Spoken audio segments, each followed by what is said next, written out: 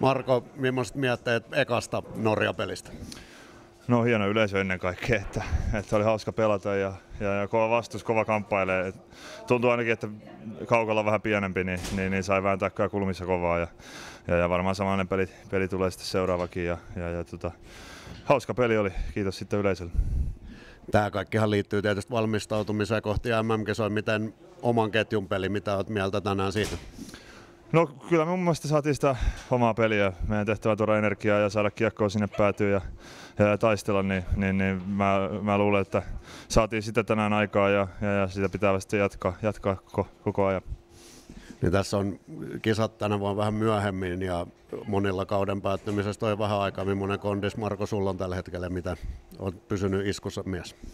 No kyllähän tässä kovaa on menty, että oli siinä mullakin viisi viikkoa, oliko enemmänkin taukoa, että, että kyllähän se aina niin kuin, kropalle on vähän semmoinen, että mitäs, mitäs sä jäpä duunaat, mutta, mutta ihan hyvin se on niin kuin mennyt ja, ja, ja henkisesti se on helppo, että hieno pelejä, hienoja pelejä ja hienoa olla tässä mukana, niin, niin, niin sinänsä se ei vaikeeta.